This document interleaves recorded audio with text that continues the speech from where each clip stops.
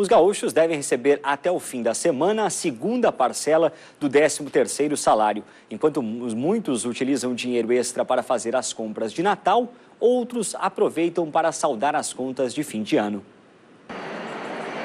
Fim de ano, Natal chegando e a pergunta: o que fazer com o 13º salário? Pagar algumas dívidas, né, que isso aí a gente não foge, sempre tem e algumas com alguns presentes também para a família, alguns presentes de Natal. Pagamento de, de dívidas, eventualmente alguma pendência e presentes. Terminar de pagar as, as contas que eu tenho, assim, eu acho que é esse o destino que eu estou pensando.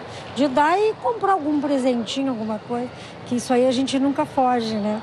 Segundo pesquisa nacional da Associação Comercial de São Paulo, o número de pessoas que vai destinar a renda extra para comprar presentes de Natal e saldar dívidas é o mesmo. 21,4%. Um levantamento da Federação das Câmaras de Dirigentes Logistas do Rio Grande do Sul apontou que os gaúchos devem gastar mais do que a média de todos os estados brasileiros com as vendas de Natal. A estimativa é de que as vendas aumentem 2,8% nos dias que antecedem a data, em comparação com o ano passado.